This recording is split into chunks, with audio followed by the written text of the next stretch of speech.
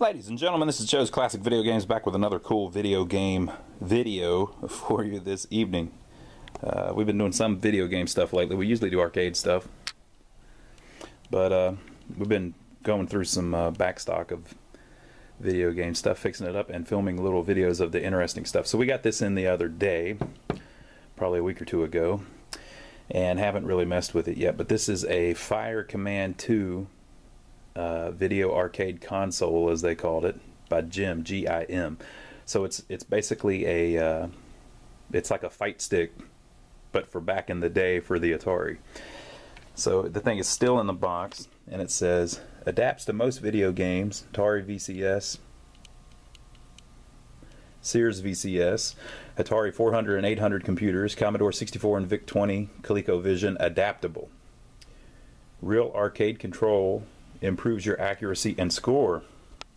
Authentic arcade firing buttons, authentic arcade joystick. So unfortunately, you can see that the, ball has started poking through the top of the of the box a little bit. So that's a shame.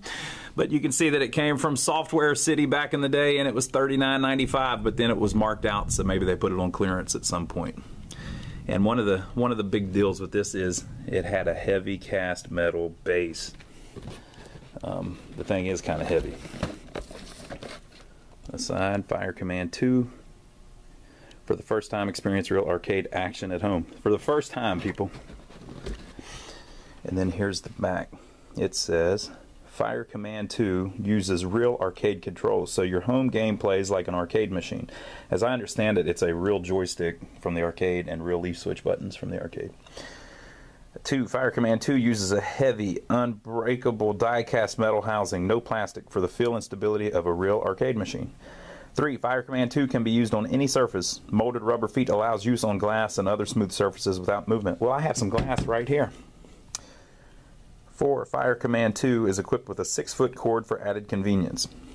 5. The Fire Command 2 arcade console gives the player pinpoint accuracy and increased firing speed, increasing scores dramatically. So I'm going to be pinpoint now, people. 6. Dual fire buttons. Allows for faster firing, left or right handed, then handheld thumb actuated fire buttons. Good point. 7. Fire Command 2 uses an authentic 8 way arcade joystick. So, 1983 Gim Electronics. So, on the actual joystick, it says Fire Command, but the box keeps saying it's Fire Command 2, so I'm not sure what that's all about. Um, there is also some on the box here. There's some kind of paint there where somebody's marked out probably a price or something. This is what it looks like when we open her up. She's got a couple wings there. Man, that is a heavy joystick. Did you hear that? I guess that was the bag that it was in originally. And then we have one piece of paperwork here. It's the warranty uh, paper. Gem Electronic Corp Limited Warranty, blah, blah, blah, blah, blah, blah, blah, blah, tells you their address, etc., etc., etc. So, nothing on the back. So it came with the warranty paper, a bag, the box, and the actual joystick. Now I'm sure this has been used. I don't believe it's new. Needs cleaned up a little bit.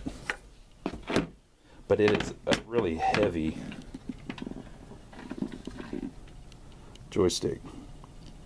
Nice logo on the bottom.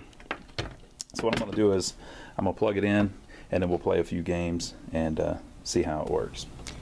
Alright folks, I couldn't resist. I took the uh, bottom cover off and it does actually have an arcade style joystick in it. So it's got leaf switch, a leaf switch joystick and two leaf switch buttons.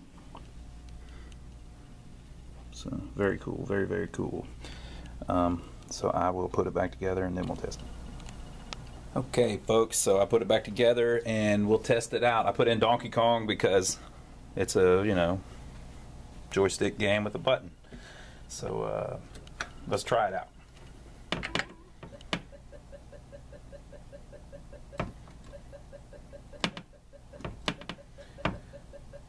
the big heavy base does help it. It makes it where it doesn't move much. Oh, I shouldn't have tried that. That was a sucker move.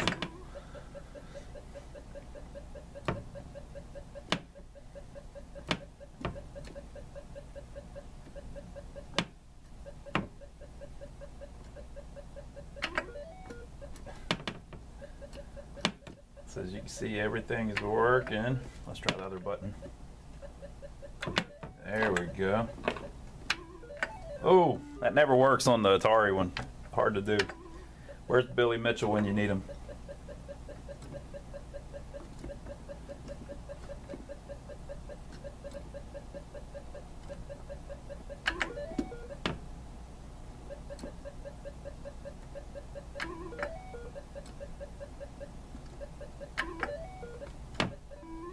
All right, let's try a different game. Let's see. I have. Let's see what else I've got. Um, hmm. Space Invaders. I didn't really have a, uh joystick, but. So Space Invaders didn't really have a joystick in the arcade. It was buttons, but.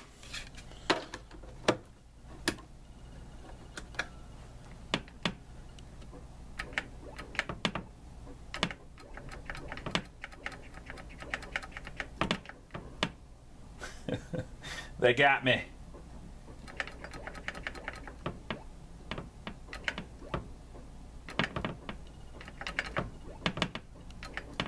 I should be getting these last rows. I should be knocking them out.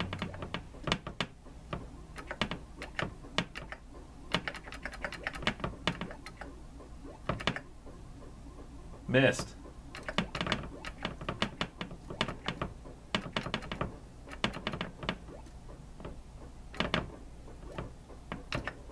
Hmm.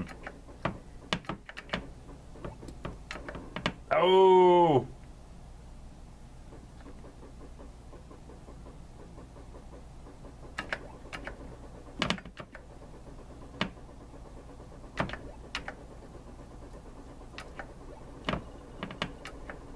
Gotcha, sucker.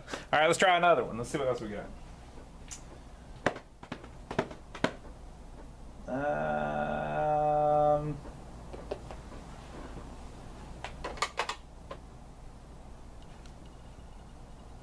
hmm. Defender. Why not? Let's do Defender.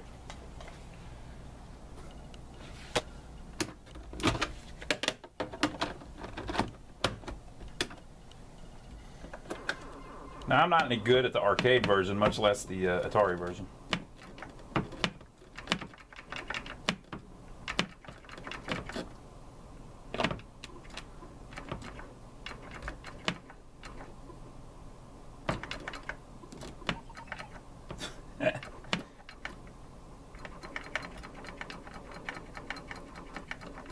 Oop. Oh, I missed him. Sorry, humanoid or whatever they called him.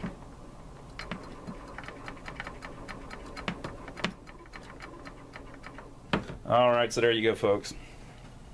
That is Gim's 1983 Fire Command 2. It cleaned up pretty good. I've got fingerprints all over it now because I've been playing it, but it actually cleaned up really nice. When I first looked at it, I thought there was some uh, corrosion on it or something, but no, it's actually very clean. Nice, you know, satin finish on it and very heavy duty. And this is on glass. I imagine it would probably be uh, better on something that wasn't slick. So there you go. Leave your comments below if you had one of these back in the day or if you've ever even heard of it.